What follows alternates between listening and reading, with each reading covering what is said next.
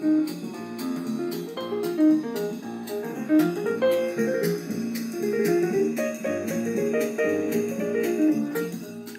following is a comfortably zoned radio network production.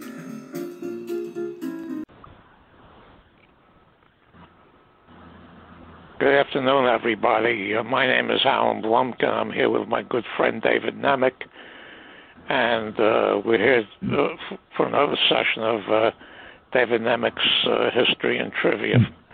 And today we're going to discuss the history of the Philadelphia Athletics. Uh, a couple of weeks ago, we did a podcast on the uh, St. Louis Browns, and the Athletics are very, very unique because the history of the franchise, even uh, past Philadelphia into Kansas City and Oakland, they've usually either been great or terrible. There's very, very little in between. So, uh, you know, we figured it'd be nice to discuss the Philly A's who uh, you lived up to both ends.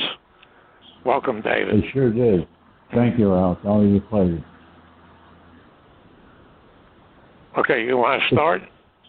Yeah, the, A, uh, the Philadelphia A's um, originated in 1901 when the American League uh, decided to call itself a major league. They come into existence in 1900 under Ban Johnson as the American League, changing its name from the Western League but it was still considered a minor league. But Johnson decided to, you know, put all his money in the pot and declare the, his new league a major league.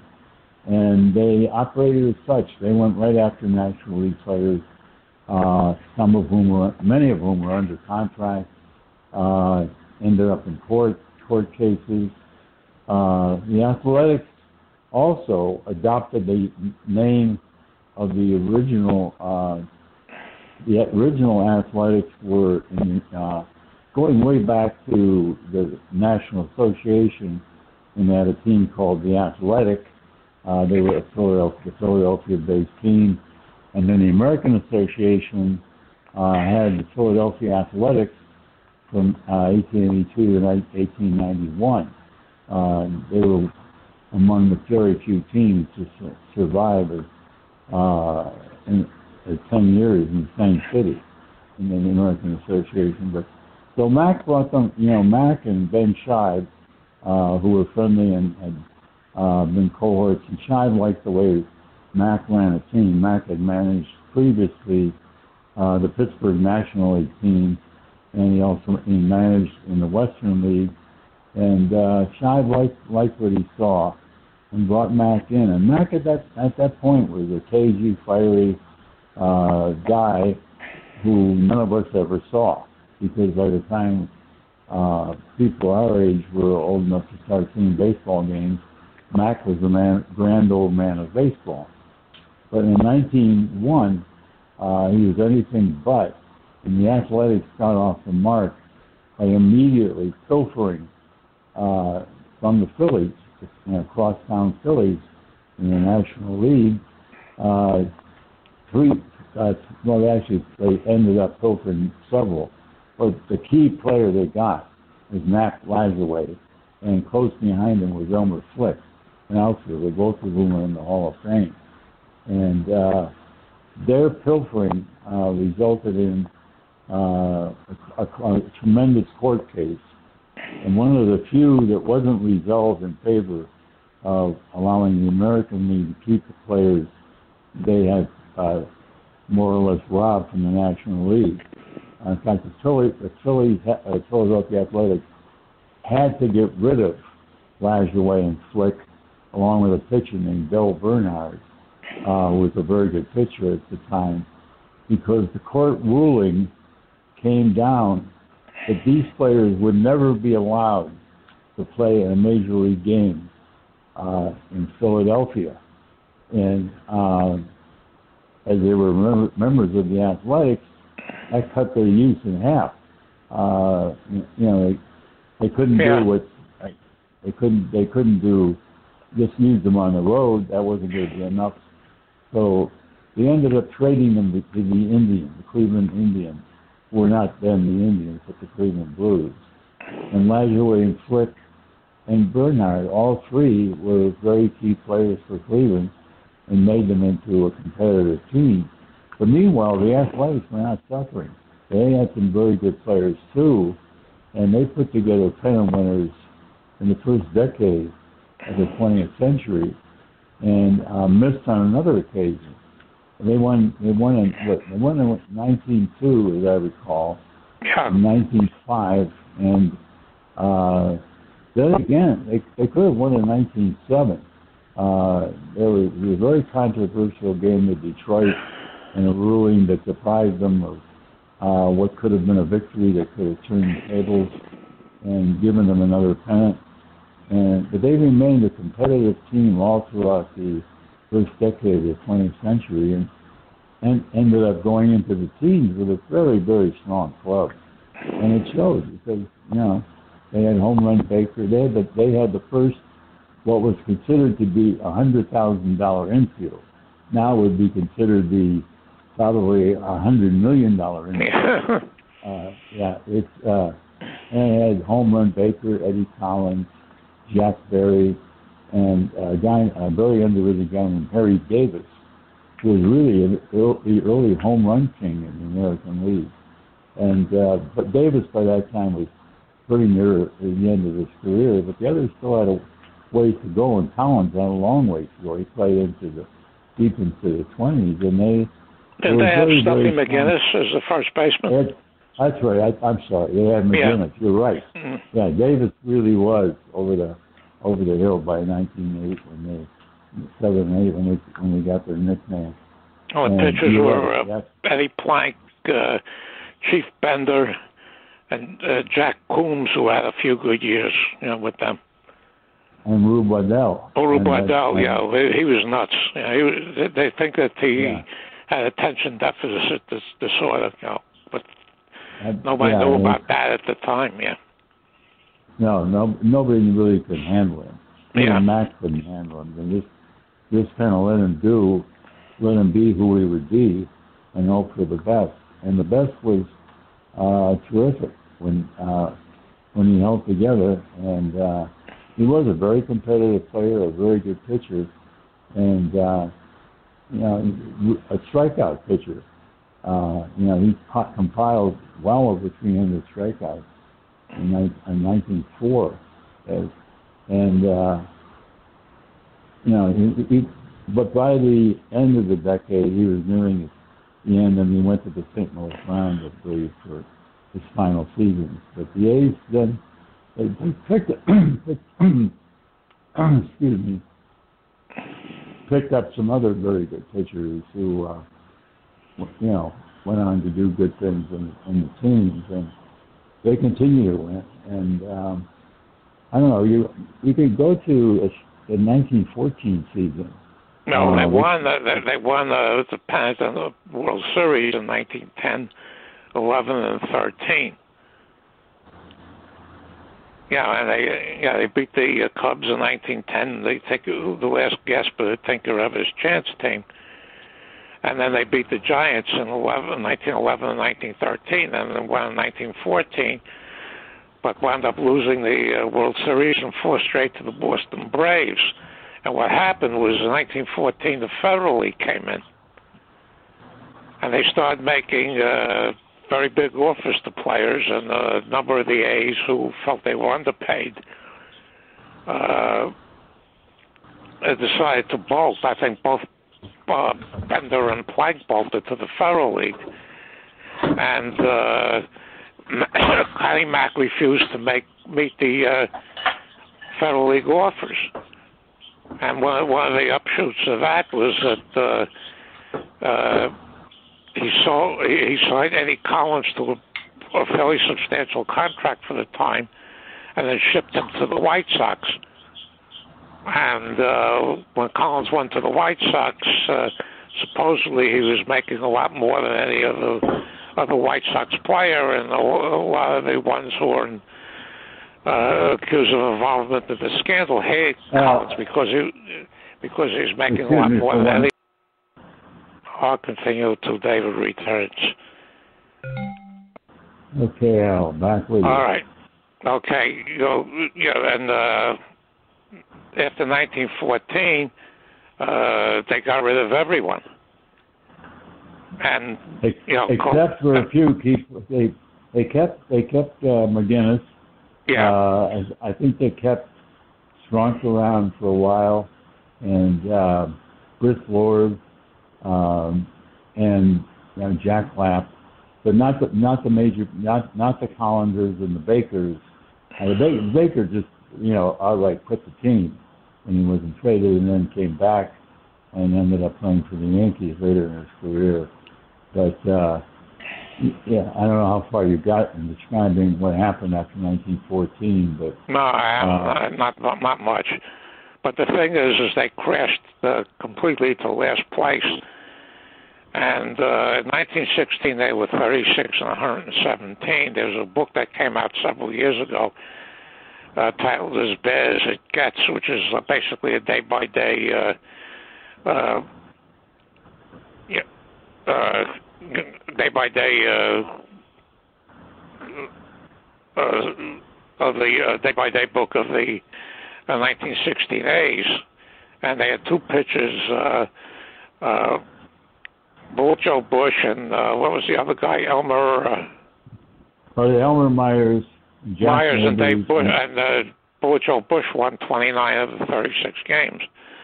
One of the ironics uh, was that one of the players on the team was Billy Meyer, who would later go on to manage the 1952 Pirates, who won 42 games.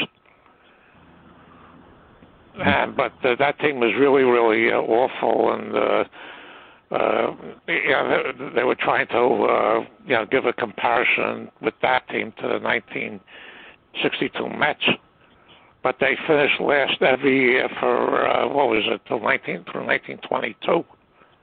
Well, say I think except for one year in there, but but the thing about it is there was no reason for the team to be that bad. Matt Matt Matt either was sulking or trying to save money, pinch pinch corners, or, you know save money or just didn't care. And it's difficult to determine what it was, whether he was demoralized by the 1914 team, the way they fell apart, uh, whether he just decided it wasn't worth it to try and put together and hold together a, a really good team. Uh, what went on in his head? But whatever it was, it was a disgrace to baseball. And if it was done now, uh, I don't think the other owners uh, in whatever league a team like that was playing in would sit tight for it. I think there would be really a lot of flack, but there wasn't any really. Uh, the A's no. were the A's, and they were doormats every year. And the other teams, you know, the other teams just went cruise through Philadelphia, uh, won the series, cruise, you know, had the A's in. The A's didn't draw particularly well and beat up on them uh, when they came to their town. And um, I don't recall ever reading in depth uh, picture, including the uh, Norman wrote a, uh, a three three volume uh, biography of Mack, and he uh, I don't feel he explored as fully as he probably could have. Why the teams were that bad, and what Mack could have done to make them better, and especially because there were there were players in the minor leagues that other teams were buying the leading player like that being uh, Babe Ruth. Babe Ruth was certainly available to the A's. Uh, in fact, Jack Dunn tried to steer Ruth to the A's. He, and, and, you know, he uh, clued Mack in, hey, I've got a guy here that's big, big, big league material all the way, and I've got to sell him. I'm, you know, I'm making, I'm in this to make money for my team, Baltimore, in the international league. You know, Ruth's available, and you know, I don't know if Mack made a bid for him or even even even gave it a second thought. But this went on all the way into the 20s, and then suddenly Mack started buying players from Jack Dunn. You well, know, I think Jack in 19 Dunn, yeah. I think in 1922 and 1923, uh, after uh, Harry Frazee did, totally dismantled the Red Sox and traded almost everybody who was worth anything to the Yankees, uh, Uh, the Red Sox took over as the bottom feeders in the American League for about 10 years. Yeah, it was. It was. It's, I don't. You know, the Red Sox story I don't know what happened. You know, it, it was bad. It really, and Al has made a very good comparison because you know because one bad team, really bad team, followed the other really bad team, and, and stayed that way for a long time. And there was really no excuse either. Al's right for Boston to have been that bad for that long. Uh, you know, and it's but with the A's, the Red Sox had a change in ownership and a change in spirit, team spirit, and a change in philosophy, and they started putting together good teams. But the A's didn't change anything. They kept Mack. You know, Shibe was still the owner. Shibe doesn't, you know, there aren't uh, there aren't volumes of complaints from Shibe that I have a horrible manager, but I'm stuck with him because he owns part of the team. I'd like to get rid of him and like to get, you know, like to get some good players in. I never read anything like that. I don't think anybody else has either. No, I, you, yeah. You're right. You started to put them at twenties. You started to put uh, together the second great team, which uh, turned out to be a three-year dynasty. We brought up Foxx and uh, Mickey Cochrane and Al Simmons, and then Lefty Grove, who pitched you as you were saying. Lefty Grove pitched for uh, uh, was it six years for Jack Bundle with the Orioles in the International League before he was sold to uh, the A's. Yeah, yeah, but they're, they're actually Foxx was a was a was a was a homegrown product. I mean, they did scout Foxx. Yeah. They signed they signed Foxx and Simmons. Uh, I can't remember where. I think they got they got Simmons from was it Minneapolis or someplace in uh, either the American Association. Or, I, I I don't recall how Simmons came to the A's, but these guys started arriving, and they started arriving in, in Carlos, uh, Simmons, Foxx, Cochrane, Grove, George Earnshaw, uh, you know, Bing Miller, just, and uh, and and they had they had confident Max Bishop, players. yeah, yeah, Max Bishop at second base. Mule Haas. Uh, Mule Haas. Jimmy uh, Dykes. yeah. Jimmy Dykes. Yeah. They had they had a solid team. Bing Miller. They had a solid team in every position, and it showed.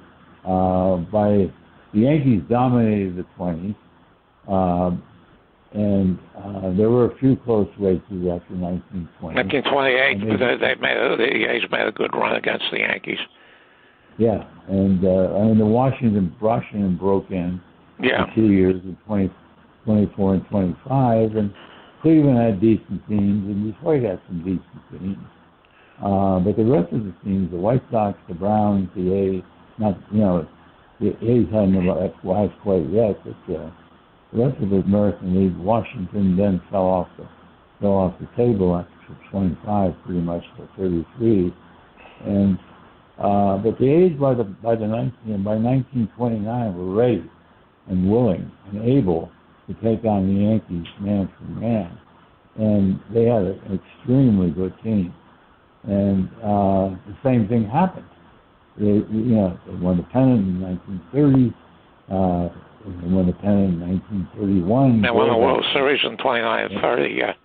But I think I think I have a couple of theories on why he decided to unload everybody from that team. First of all, they had no Sunday ball in Pennsylvania until 1934 because of the blue laws. Uh, he he had, it was during the Depression, and he had no income other than ticket sales because there was no radio or television or any uh, you know uh, any other sort of media to bring in revenue. So all they had was uh, with ticket sales and whatever concessions they could sell at the ballpark. And of course, if you're not drawing people, you're not going to sell concessions. But I think that you know the, the, the combination of that, uh, know, was, was very very uh, significant in uh, in the breaking up of uh, that dynasty team. But again, he didn't have to have a team as bad as it was. No. They they went from the top of the pile to the bottom of the pile. They were right down there with the Browns, who, you know, all throughout the late 19, end of the 1930s, they vied for last place with terrible, terrible teams and terrible, terrible records. Well, the Phillies crushed how well Phillies moved into Shibe Park in 1938, and the Phillies and the A's in the late 30s and early 40s, both of them were just yeah, the terrible, terrible baseball teams. And uh, and there, are, unfortunately, there were some really good players who were stuck on the A's. I mean, they had Bob Johnson, who, Yeah. who most of his career was spent in an A's uniform. Sam Chapman, another very good ball player, who spent most of his career in A's uniform. They had some pretty good pitchers. Uh, you know, and, and they didn't need to be that bad because the minor leagues at that point, remember, there were only 16 teams then, and there were a lot of good ball players out there. Baseball during the Depression, uh, a lot of guys were trying to make a living playing professional baseball because there wasn't much else available. Yeah, uh, mm, uh, didn't uh, Mack uh, uh, dislike farm teams and dislike the whole system that Rickey had set up with the teams that went all in, like the Yankees and uh, you know, and, and later Well, on the he Dodgers. wasn't- They, he didn't yeah, they were signing all these kids and all these prospects. The A's was he was still waiting for referrals from college coaches and uh, yeah, yeah, and he didn't want and he didn't want to spend any money. for No. them. he wasn't going to go out and buy buy buy a Joe DiMaggio like the Yankees did. Uh, not not not a chance. He didn't buy anybody of any consequence from a minor league team in those years. well the Phillies. uh, Yeah, Phillies had to sell any player that became good during those years to keep operating. They did. They But did. the- I mean, it, yeah, it's it was. Uh, you know, it, if you were a Philadelphia fan, and and uh, from the period period from about 1935 to, well, you know, through the war, through the Second World War, yeah, you were you, you were going to have very few fun days at the ballpark, even if you went to every eight A's and Phillies game. There were a few players, you know, Chuck Klein certainly, even in his later years, would give you a good good game now and then, hit a key home run. But uh, so he lost it when they moved. They moved from Baker Bowl to uh, Shibe Park. Uh, Chuck Klein's production declined uh, Yeah. very, very rapidly. It would have anyway, regardless of Mhm. where he played. The guy Yeah. just didn't take care of himself. But uh, it's it's it's sad because uh, a guy like Bob Johnson, we'll never know how good a ball player he really was. He has he has Hall of Fame numbers uh, and, and career totals, but he never had a team. He never was on. A, he was on the Red Sox in his final season, 1945, I believe. But prior to then, he had very, very few seasons when he was with any team even smelled any territory close to 500. And um, Mack continued to manage the team, and he had he had players during the war uh, that he, he just never. You look in the book and you wonder, well, how could this guy play three years? Irv Hall. Irv Hall is an invalid for three seasons during the war, and you could probably ask a million million baseball fans uh, who played, you know, during who the what the A's infield was during the war. And other than Dick Siebert at first base, I don't think anybody, any of them. George Kell came up finally in 19, I think 1944. Three, three, I think, yeah, and of course they traded him for uh, Barney McCosky, who had two good years with them, and then uh, you know uh, had back pro- back injuries that basically ended his career. Yeah. Mm. No, yeah, McCosky was sad. Yeah, I mean, McCosky was trying to become a power hitter. And Yeah. uh, after the four, he had, he had, I think he had 328 in 1948, led, the team in batting, but he had zero home runs. And prior to that, he had, you know, he had a few home runs, and uh, and I, I think somebody actually told him, Barney, if you want to make any money with this club, the A's, you're going to have to hit a few out out of the ballpark. And uh, he went home that winter, winter of 48, 49, and had a rowing machine and wrecked his back on the rowing machine. Came to spring training. I think it was either the first or second day. Uh, he had a terrible, terrible incident, and his back and, and his back really suffered. And I, I never knew that, uh, that that part of the story because Yeah, he was on the 40 Tigers that uh, wound up losing the World Series. Yeah, and he had, it, but McCosky was a good ball player. Yeah. a very good ball player uh, when he was with the Tigers, but he he somehow didn't never really improved. On his, his rookie season was good. His sophomore season was excellent, and his seasons after that were still good. But then, you know, as Al said, by the end of the 40s, he was he was pretty much finished as a player. But uh, Mack kept him on as a pinch hitter for a while, and Mack actually by 1947 he had begun to put together a semblance of a major league team again after suffering for years in the doldrums. He had he had he had picked up guys like Phil Marshall, Lou Brissie, Ferris Fain. He'd had Pete Suder for a number of years by then. Uh, and Pete Suder is an interesting case because Pete Suder holds the record for the most games played by a player who never wore any other uniform but an A's uniform. I think you asked me that once, and I got it. Yeah. Yeah, yeah, you were you were that that was one of your great catches, believe me, because uh, few people today even have any, you know, can even talk about Pete Suder. But he, in his day, he was a pretty good ball player. But they had they had a good team and they had a fairly good outfield. Chapman was still there. Elmer Valo was a very good ball player. Uh, you know, they had Zernial for a while. They had they they, they had their share of pretty good players. Uh, and by 1948, they were actually in contention into August. They were among the top four. The, the top four teams were the Yankees, the Indians, the Red Sox, and the A's. And uh, you couldn't count the A's out then. But then the last two months of the season, they really fell apart. Their pitching was not deep enough to to stay to stay with the two. Didn't Hank Majeski teams. knock in 120 runs for that team? Yeah, yeah. Majeski was a good, really good ball player. Uh, and Eddie Eddie Joost, very underrated player. Leadoff hitter would hit in the 250s, even in the 240s, but he drew over 100 walks every season. Oh, he, he hit, the, with, hit, with, hit with power, and he was a good shortstop. Very he had- player. he had the worst average in the uh, National League in 1943 with the Braves at 185, and then in 1947 with the A's he had 206, which was the worst. Yeah, yeah. But he he, he got he, he got he got better as a hitter the longer he played, and he was a shortstop on, which not too many people know. He was a shortstop on the Cincinnati Reds when they won the World Series in 1940. Yeah.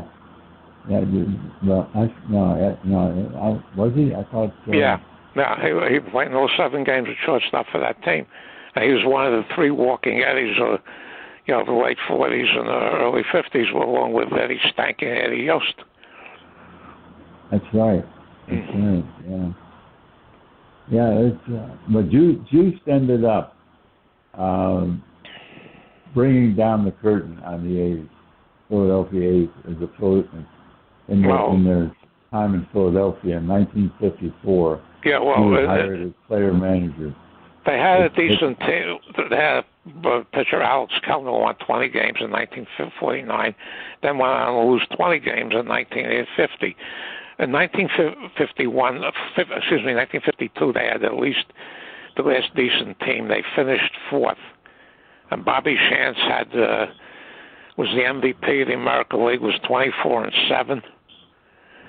Uh, and would have won the Cy Young Award in the American League if they had one back then. Uh, Ferris Fain won his second straight batting title. Ferris Fain had as one of the top 15 on base percentages of anybody ever. Yeah. And they had uh, in 1951 they had traded to they gotten from the White Sox Casario and Dave Philley to solidify the outfield, and they finished uh, I think it was 79 and 75 that year. The next year, uh, in 53, everything fell apart. Zario Yeah. got, you know, he got- he Zarnio got- uh, had a good year, but that's a chance came up with a bad arm that uh, didn't uh, never completely went away. and uh, he, he didn't pitch. Uh, he hardly pitched until uh, it got to the Yankees in 1957. The team just completely fell apart. They they got rid of Fain to the White Sox because uh, after the two batting titles, Mack didn't want to pay him.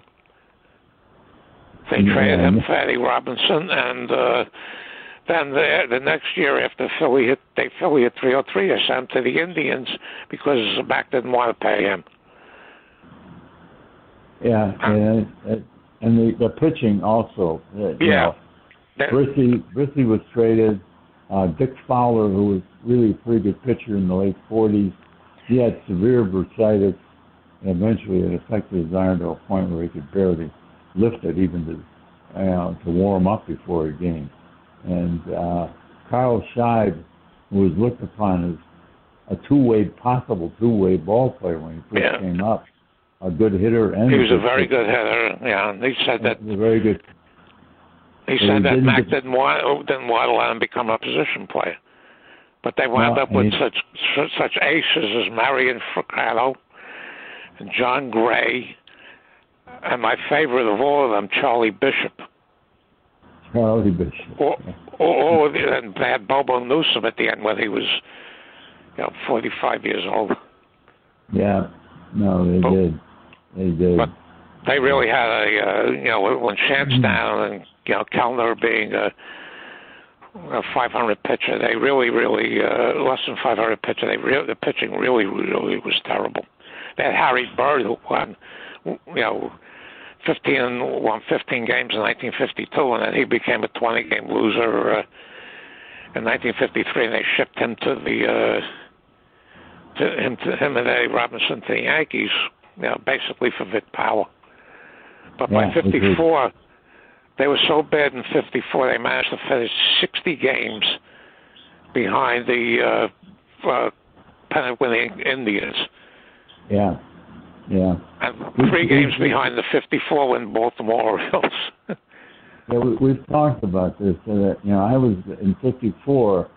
I was I was living in West Palm Beach, and West Palm Beach was where the A's trained. Uh, uh, you know a, a, small little ballpark called Mack Stadium. Uh, and that's where they played their exhibition games. And I was playing with the West Palm Beach High School team uh, that year, and we would have to wait to begin our practice on days when they were A's were playing a home exhibition game until their exhibition games finished. So as a result, I got to see some really great players for the only time in my life, uh, especially the Dodgers players, uh, Campanella, Robinson, you know, Hodges, that whole group. Snider. Uh, was no, I never got to see them because I was living in an American League town, Cleveland, and the yeah. Dodgers never played there. But uh, that 54 age team that I saw in spring training, uh, they broke up into two, two squads at one point. Uh, one one squad went to Vero Beach to play the Dodgers, the A squad. The B squad stayed behind to play the West Palm Beach High School baseball team, and I got in that game, and got one at bat against a major league pitcher who was an actual, turned out to be an actual major leaguer guy named Ozzie Van Brabant. Oh and, yeah, yeah, I've heard, I heard that that you, name. Yeah, you, you, have heard that name. You probably know him yeah. around the world who has. Yeah, and yeah, and that was, and and they really were, was really a game. It was a, it was a close game. They didn't hit. We didn't do much hitting. Their pitching was eh, bad. It wasn't good enough to be major league pitching, but it was certainly better than we were seeing in high school. And our pitchers were handicapping these, you know, these second second line ace players, and some of them were really bad. It, it's amazing how depleted that farm system was by by 1954. I don't know what they were thinking. That you know, Mack Connie Mack was no longer any part had any part in the team, and uh, the Mack the Mack family still did, but they were operating on a shoestring and they just they had to unload the team and move to Kansas City at the end of the year. And yeah, they packed in uh, 306,000 fans that year. yeah, and Eddie, poor Eddie uh, had to suffer the an, an ignominy of finishing in last place his only year as major league manager, and uh, Well, uh, yeah, uh, here's a little piece of trivia. It's Tony La Russa is the only manager besides Connie Mack who managed after he was elected to the Hall of Fame. Yeah, that is right. Yeah, yeah. That's. Yeah, but it was, yeah, Mack Mack never uh, never believed that, and the, the, the, the two sons were involved. Roy and Earl were both uh, not exactly the most, you know, the, the brilliant minds on the block. Earl played Earl played some too for the A's mm-hmm. under under his father, and uh, wasn't much of a player to say the least. But, uh, and the Yankees no, arranged the, the Yankees arranged the whole move to Kansas City, which uh, is another story for another time. yeah. Yeah, the Yankees had already gotten their hands in the, in, into the A's, and that trade, that the trade Al mentioned, well, the, the, with the, Power the, going to the A's. Yeah, they brought in a, the man that bought the team was a man named Arnold Johnson, who owned Yankee Stadium, owned the Kansas City Park in the American Association, and had multiple uh, business dealings with Del Webb, who was you know the half owner of the Yankees. Yeah. But that, that that's a story for another time. But the, the, yeah, as I said, yeah, the history of being either terrific or terrible has continued. Kansas City, they lost all 13 seasons that they were there at losing records, and Oakland has you know, had two two uh, times of glory in uh, the mid 70s and the late 80s and early 90s, and the rest of it, and maybe a little bit in the 2000s when they had good teams that never really made it to the playoffs. But uh, outside of that, they've been pretty bad. They've, they've had it's a very, very up and down some, history. Yeah, that's yeah, what fascinated me about it. Yeah, it is, especially with all this stuff about Moneyball and you know what yeah. and how everybody was thinking, well, the A's really have their finger on something, a pulse that nobody else does, and they're going to emerge as, as the, you know, the team that's not with deep that team doesn't have deep pockets, and they're gonna they're gonna instead of Tampa Bay, it's emerged as a team without deep pockets, but managing to stay in stay in the race year after year after year with uh, with you know very little money to spend in comparison to other teams. But while while we're here, I, I just wanted to ask you, what did you, what did you really think of the Soto trade? Of the what? The Soto Of the trade. what? The Soto, the Soto trade. Well, Wa- uh, Washington Washington is under 333, and they they were uh, yeah they're unloading everybody. The only one they basically kept from that World Series team from three years ago was Stephen Strasburg, who's been on the injured list most of the time. Came back this year, pitched four innings, and went right right back on the injured list. This was not unlike uh, what the A's did, uh, you know, after their two dynasties. Yeah. This team is this team has become the worst the worst team in the American in the major leagues, and uh, you know, and they say, well, they're rebuilding. You know, 20 years from now, they'll still be rebuilding. Well, the reason I'm asking is because the papers out here and you know even the Times has they're billing this trade as one of the one of the biggest and not the biggest in history, and they're looking to me I'm looking at Soto's career. He had a very fine rookie year, led the league in batting the second year, but here he is. He's making, you know, I don't know, he's making bundles and bundles and bundles of money. And this guy's after at mid-season, he's hitting under 250. Well, yeah, well, well he's playing with Washington. There was uh, really no incentive. Well, there.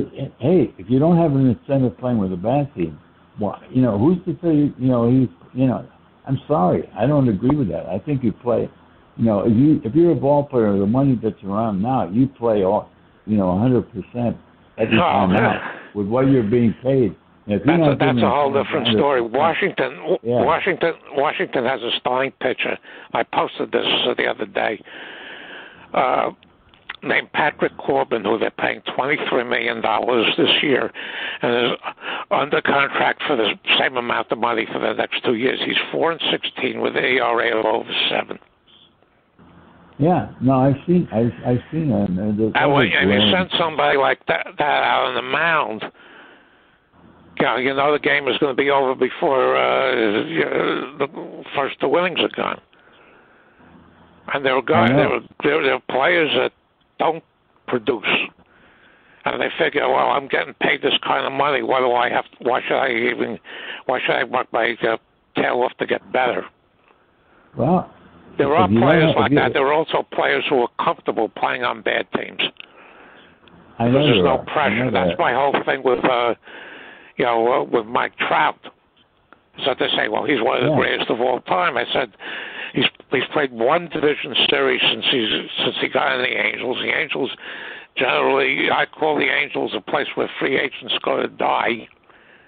And he's, he doesn't play under pressure. I, I I happen to agree with you. I I don't see Mike Trout as Mike Trout is a good ball player on a, on a really really good team. Mike Trout would still be a good ball player, but would Mike Trout ever be the best player on a really really good team? I don't think so. I don't think so. I really don't.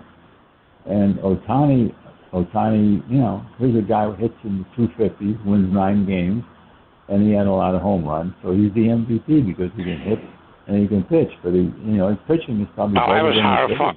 I was horrified by that last year. Because Yeah. uh, you know, how can you be the most valuable player in the league where a team wins 70 games, 72 games, or 70 games? Yeah, I agree. I agree. And yet, that Trout was has been MVP for teams like that.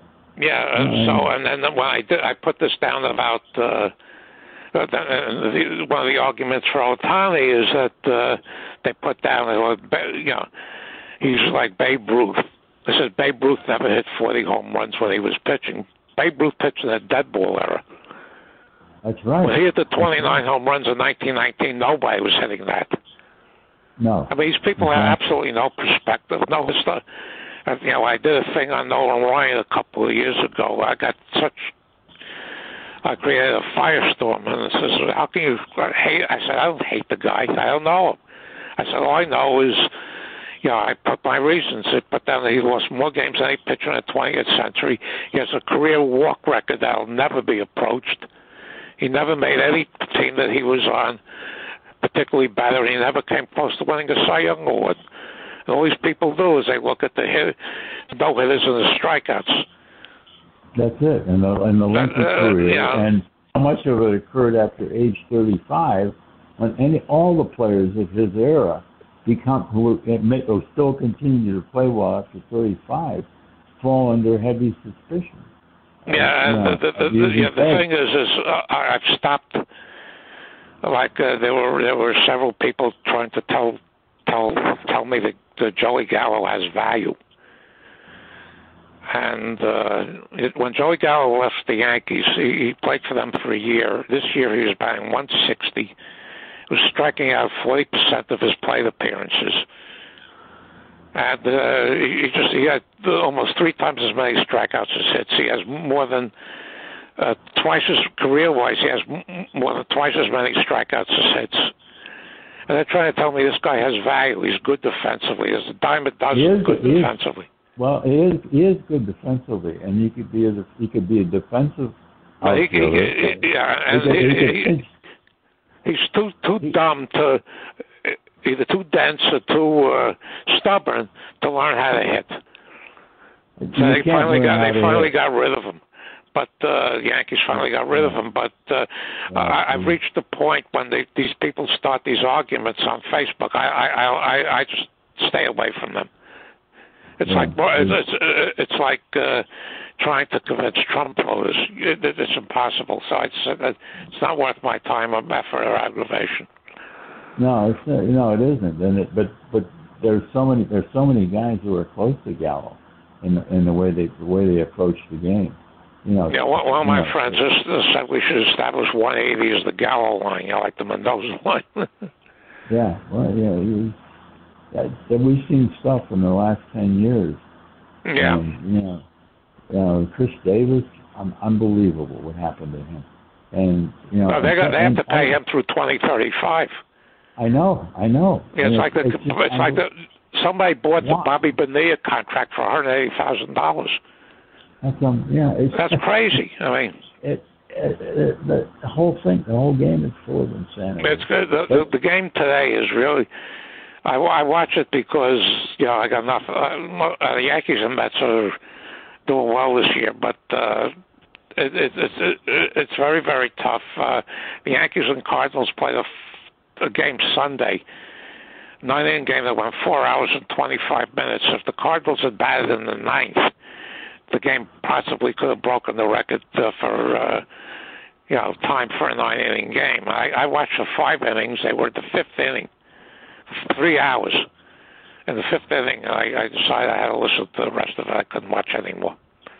It's interesting because I watched the only game this year that I've watched more than five innings of. The, the night before, when it was one to nothing, I watched that game, and I said, "Am I seeing something that is this really a presentation of a, a twenty thousand you know twenty two game?"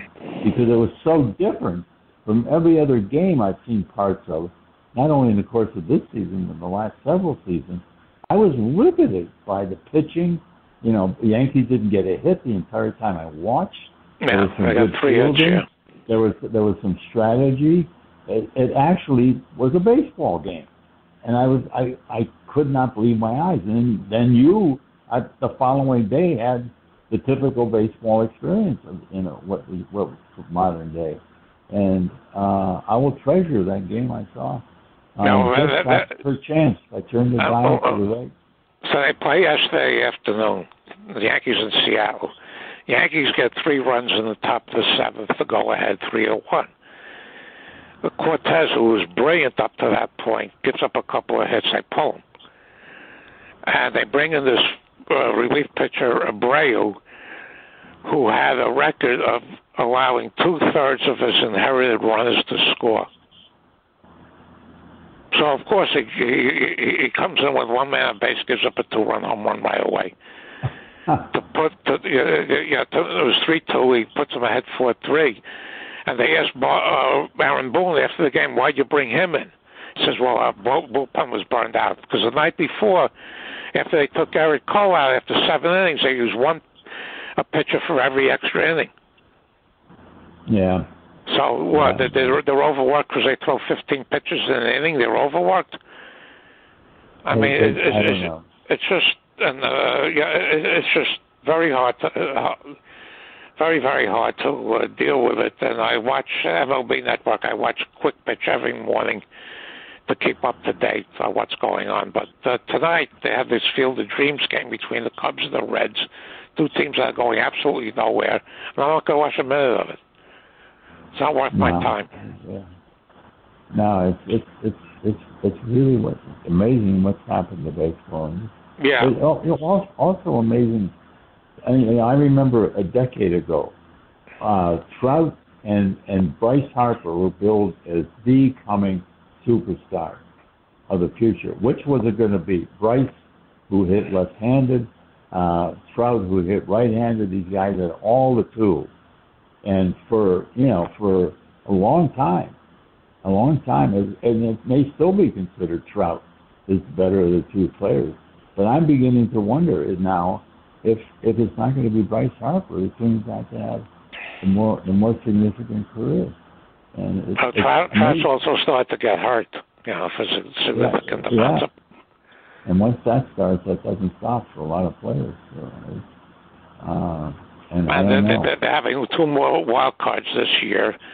And uh, the two things I, I, I I've read is that they want to they want to increase the interleague games next year, cut down on the in-division games, which to me is ridiculous. And the other thing is they want they want to add two teams, and if they get to 32 teams, what they're going to do is become like football. It's not going to be four Yeah. leagues; it'll be eight 14 divisions. Yeah, exactly. And then have 16 players, uh, teams make the postseason like they do in hockey and basketball, and the World Series will go into December, and they'll play at a neutral field like they had to do in 2020 because of the pandemic. yeah, no, you, you could you could be right. Uh, yeah, Yeah, and they, I they, they never get anything right. Yeah. I yeah, I think there's going to be some yeah, there's going to be some international expansion too in the Hmm. next few years, and uh, depending on the world situation, you know, a lot of things with baseball has nothing to do with, and no impact on it at all. Yeah, but But, traditionalists like us forget it. They don't care about us. No, well, you you know, as long as end of the people keep paying these, uh, people people keep paying these outlandish prices and the outlandish concessions. A friend of mine who goes to Yankee Stadium uh, a lot told me they charge five twenty five for a bottle of water. Yeah, I'm sure. And uh, it's funny because somebody put up a picture of Yankee Stadium on one of the Facebook groups about about the new stadium. So I put down the old ballpark was a shrine. This is just another ballpark.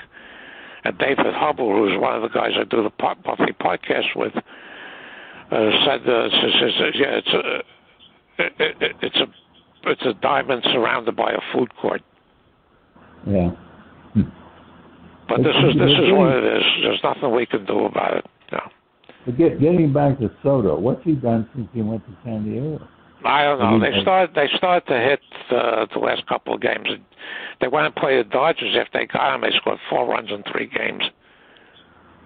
Yeah. But so I'll give him some time. The guy is very talented, and Josh Bell, who the Pirates traded away, and I hated that trade, uh, Yeah. is a very good, very good hitting first baseman. I know, I know. But, And, yeah, it's it's I don't know. I I I, I just don't. Something I think something is going on with Soto. And he's he's not going to even be a Mike Trout or you know even a Bryce Harper. Not even close. There's something going on, and uh, I think you know I I don't know, but what uh, Washington knows something that. Uh, Now Washington's just unloading everybody. Yeah, They're awful. They are. Yeah, they're, they're, they're, they're, they're, going into today. They're 37 and 77, I think it is. But They're the only team that has under 40 wins. It's not Even the A's have more wins than they do. It's not to say they don't have a plan. I think I think teams are starting to watch Tampa Bay, hmm. and they're seeing things there that they can learn from. And I'm hoping that's true, and there are more and more teams that start doing it because we've got to bring baseball back for all all 30 No, right now, right now, you, you, one of the problems now is you've got uh, in the American League you have got the Yankees and the Astros, and the National League you have the Mets, the Braves, and the Dodgers, maybe San Diego. These are the only teams that are given a clear shot at winning a World Series. Yeah, yeah. And I, I I would be willing to put some money on none of them winning it because it's I, I don't know. I, you know, I don't see it. I don't see a candidate right now, but I haven't paid that much attention. But we can Yeah, the Yankee, Yankees have future won, I think, nine out of the last 25. That, that, that, and I, I, I told I told people all the season when they were hot as hell uh, a while back. I said, "Do you think this team is on a six par with the 1961 and 1998 teams?" And nuts. No, I don't even know some of the players. Yeah, Yeah. that, well, I know them because I see them every day. But they had uh, uh, there's too many holes in the batting order, and the pitching is starting to. Uh, yeah, pitching is starting to uh, sour a little bit. So, but they, they, they've stopped hitting in the clutch. Even when they hit in the clutch, like yesterday, they uh, they bring in the wrong pitchers and they blow the game. Oh, I don't know if you heard this one. The, the a pirate uh, player last night was sliding into third base, and he was tagged out, and a cell phone slipped out of his back pocket. and it showed he was safe. Yeah. Yeah, that's that, that that's on YouTube. That's go, that that's gone viral. That that video. Yeah. Yeah, well, uh, there were guys in the old days that carried cigars in their back pocket. Yeah. Yeah. Yeah. And, uh, I don't know. I don't know what's going on. But I do appreciate that I saw that game on Saturday between the Yankees and the Cardinals. Good. It's the first game I've seen in years, years. Maybe it'll be maybe it'll be another one this year. There are 16 complete games already. Well, maybe. And a pitcher maybe. on, on Miami named Alcantara has three of them. Yeah. But I, there'll never be a game in a SABR convention like it was like in uh, No, 2006 no, yeah. game in Seattle. I'm not going. game like. No. Yeah, no, I'm not going this year. I can't physically. Yeah, no, no, I can't either. But uh, yeah, there's no, that was that was a classic game, and uh, I really treasure it. I, I, you weren't you weren't in Seattle. No, no, I, I couldn't because I I, I uh, it was my last year at work, and I I, I just couldn't. Yeah. See uh, yeah. that flight. That was the only one I missed from 1984 through 19 uh, for 2011. Yeah, well, and you were missed. I remember you weren't there. And Yeah. left the hall because, uh, you know, Pete, we were, I was sitting with Pete Palmer and a couple of F. Cope and a couple other guys at the game. We were talking, and before we were talking, we suddenly realized it was the sixth inning, and we had just just built up this game had just started, and it was over before you know before we knew it. And no pitching changes, no mound visitations, no disputes, no replays. Nothing. No pinch hits, pinch hitters. Uh, the game just went. It played. It played like a real smooth game. Yeah, my Yeah. my favorite uh, was in Pittsburgh in 1995 because we were at the game in the Three Rivers, and the Pirate pitcher, starting pitcher, was getting his brains beaten in. So I get up to go to the bathroom. So I get up, and somebody says, "Where you going?" I said, "I'm going out to the mound. I can't pitch worse than him." yeah. Yeah. Anyway, it's always a pleasure.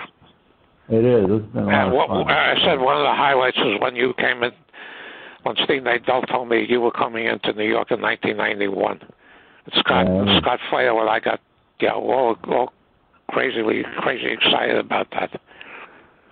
Yeah, that was that was a fun convention, and you know, Yeah. Scott ran the trivia. And there was there was some great questions. I well, I was really impressed with some of the ones he drew up. And, Yeah, well, the, the, the, the, that was you- my and even though we lost to you in the final. The Branch Yeah. Rickey thing was the highlight of my uh, trivia career. Yeah. Yeah, well then, well you then when you ran it, you you you you put together some great, some great. I only learned, I. I, I learned Yeah. from you. You know, I learned from all your Yeah. stuff. Yeah. It was But I remember you asking fun. me in Milwaukee, you know, because I wrote about half of that. Uh, I said uh, 2001. You asked me which one were yours, which one were mine. I said some of them. He said USOB, and I said I only learned from the best.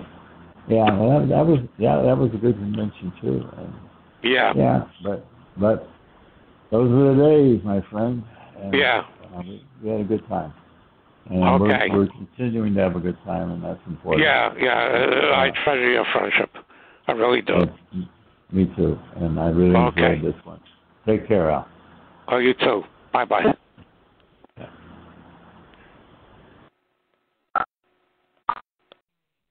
The proceeding has been a comfortably zoned network production.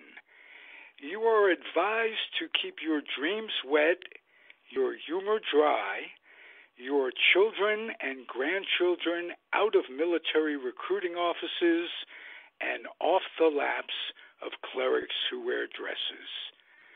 Thank you for listening, everyone. Happy trails.